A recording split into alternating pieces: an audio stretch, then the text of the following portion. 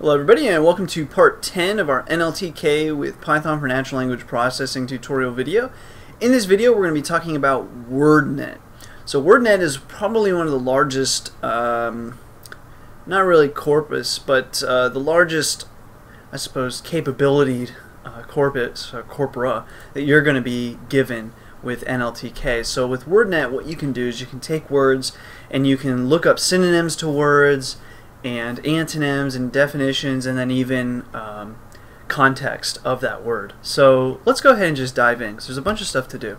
So first we're going to do from nltk.corpus we're going to import WordNet. Now this import takes a few seconds depending on your computer um, so just be patient with it. Uh, then let's say we want some synonyms or synsets basically so syns equals wordnet and then you can put in the word here. Let's use the word program because program actually has a lot of meanings. Um, it could mean a lot of things. So we'll do that, and let's go ahead and just print syns. okay, so here we have some sin, uh, synsets, or synset, yeah, synsets. So it's just a list, right? It's a list of these synsets. And you'll see later on that we can end up using this right here as uh, a search parameter down the line. Uh, anyway, so you can see that for program we have things like plan, program, uh, broadcast, and that's because program has many different meanings. So you can see we actually have quite a few program nouns. Uh, but plan, broadcast, course of study, um, that's the only other ones that I see.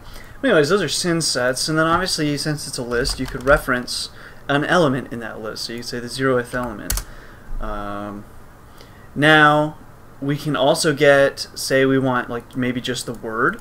So we could do something like this. So we could say print syns zero dot lemmas. Um, well, first we should probably we can do dot. Let's do dot lemmas. So let's see what that gives us first. So we want the zeroth element, but right. So some lemmas for this are like plan, plan, and plan, uh, with a special uh, spelling of programmer. Anyway, lemmas zero and then dot name, like that. So you can get just plan, and then if um, you may or may not be able to actually get away with doing dot name here as well.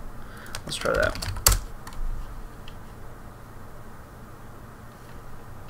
Right. So here the problem is uh, you're getting just you're getting like the whole synset. The synset.name is this, not uh, this. Whereas the name for the lemma is going to be just that, like an actual word. So anyways, there's that. Um, synset, just the word, just for some notation there. Now, um, let's take it a little further and do like a definition. So we can print uh, syns zero dot definition. Empty parms. and this will give us the definition for the specific word that we're looking at. So uh, this one is for plan. It's a series of steps to be carried out or goals to be accomplished. Okay, that makes sense. So then, what we can do is we can also do examples. So like I was saying before, in context, so we could do syns 0 dot uh, examples. Save and run that. Let me pull this up a little bit. They draw up a, or they drew up a six-step plan. They discussed plans for a new bond issue. Okay. So that makes sense. So now, we could do this for any of the elements in the list. But then, what if we wanted to have synonyms and antonyms? Well, we can, um, I guess we'll leave this stuff here. It's okay. Because um, I always post the source code, but if you want, you can delete this stuff and it'll kind of make some space for you. Um, but I'm going to do this, this. So now we're going to say synonyms equals an empty list, antonyms equals an empty list, and then we're going to say for syn in wordnet.synsets, and we're going to use the word good since it has good synonyms and antonyms. uh, for syn in WordNet, since that's good, and then we're going to say for um, L for lemma in syn.lemmas. What do we want to do here? We're going to say synonyms dot append L dot name because again lemmas if you remember are like synonyms so we're just going to treat them like synonyms and then if there are any L dot antonyms uh, whoops, that'll be uh, empty parms there. We're going to say ant antonyms dot append L dot antonyms empty parameters element zero dot name. Okay, so L antonyms zero, so that should kind of be like right here basically. Lemmas zero dot name. Um, we'll print out a little bit more at a time um, after we run through this one time so you can see what each step of the way is doing.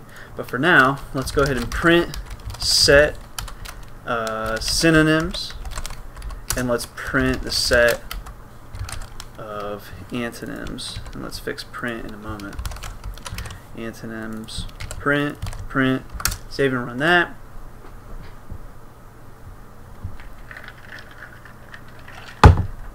Drink some coffee. Okay. Um, okay, so we have synonyms, which is, um, these are synonyms. So thoroughly, full, skillful, well, beneficial, trade good. So obviously, this is a synonym for the literally the term good, as in goods or services.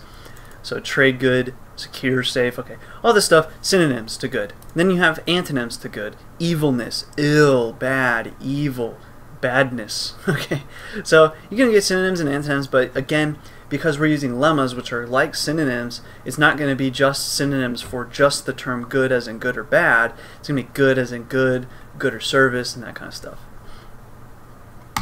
So there's that.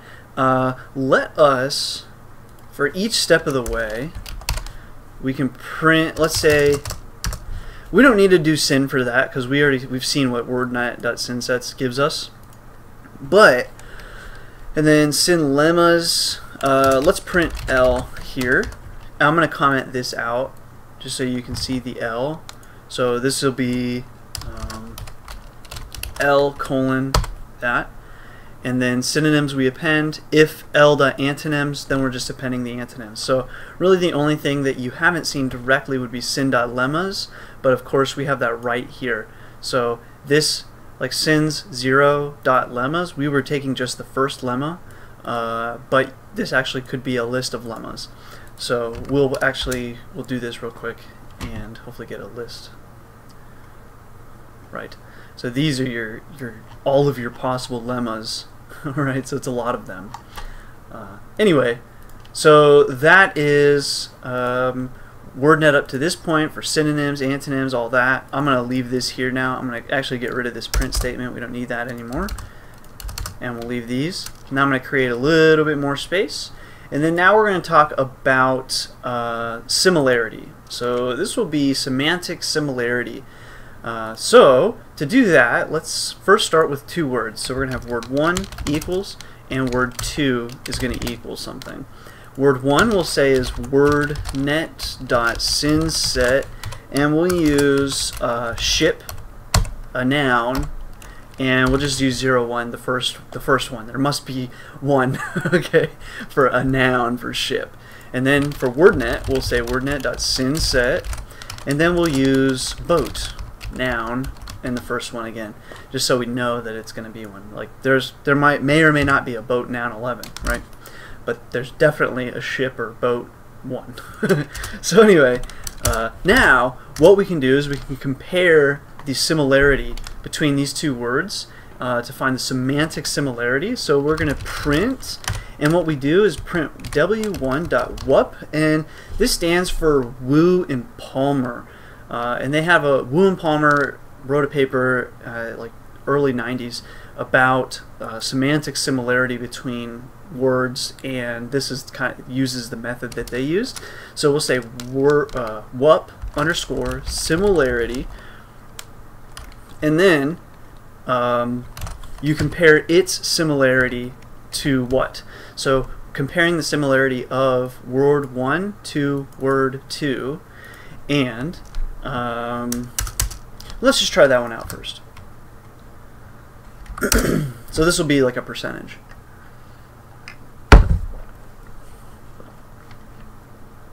Right.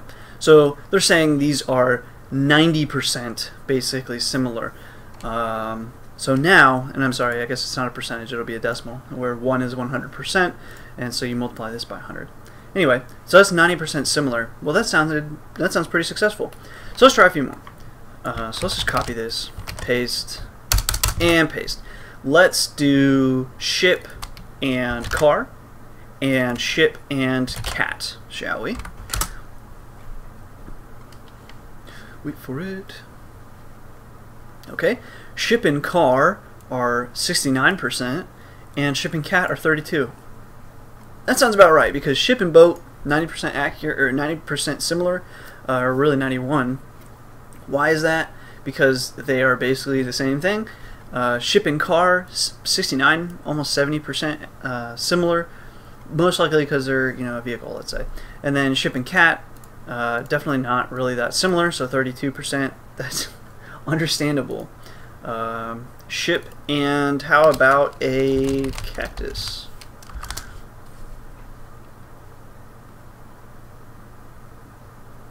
Thirty-eight. So a ship, a ship is more similar to a cactus than a cat. Makes total sense.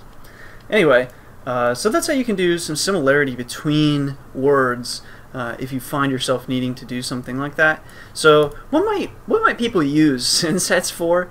Uh, and NLTK plus synsets plus maybe word similarity.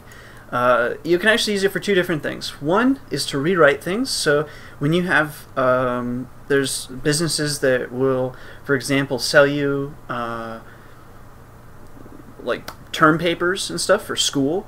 So if you have to write a term paper, sometimes you can go online and you can just buy one, right? I'm not advocating for that, but a lot of times what those services are going to do is they'll take, someone will submit their term paper, and then they use some form of natural language processing, start switching words around, okay? So they, they take it and they start changing words. That way they can sell this to like five, ten kids, and they have, hopefully, a different paper. But then, what the other people can do is the schools can come by, read the paper, and then use you know the the exact same methodology only reversed to find out who has been uh, just simply switching words around so they can use similarity to figure out are people just switching synonyms and stuff like this? Or you know the other thing you can do is you can use an antonym and then you can say not sometimes depending on what the what the word is right? So if it's an action let's say you can flip it. Uh, or a description, you could flip it, stuff like that. But anyway, so if you want to catch people who are cheating or you want to cheat on your term papers, uh, this is probably pretty common. Same thing with like people that uh, write news bots and where the news bot writes, you know, there's people that make websites that are completely controlled by robots or not robots but computers right and they write articles but the way that they write articles is they read other people's articles they switch a few things around post up that article and claim it as their own. So that's another example of how they might do that and then google again will come through and in their at least their goal i don't think they're very good at it at this point but they seem to be pretty good at not getting bot websites up uh, but they can do the exact same opposite and check it against other people's content. Anyway, pretty cool stuff there, pretty simple. Uh, the word similarity, I think, is a pretty hard one to write yourself. Synonyms, antonyms, pretty hard. You'd have to build your own WordNet, and why would you? You already have one. Um, and and I, that's about it, I think. Uh, the lemmas is useful, obviously. But anyways, a lot of really powerful things that you can do with WordNet. So hopefully you enjoyed. If you have any questions or comments, please feel free to leave them below. Otherwise, as always, thanks for watching. Thanks for all the support and subscriptions. And until next time.